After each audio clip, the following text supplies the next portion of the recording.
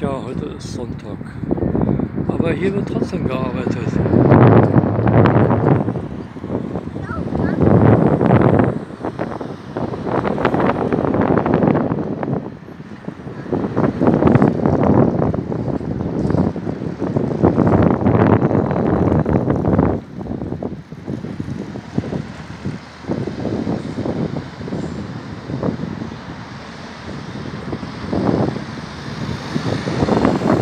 Natürlich starker Verkehr wie immer.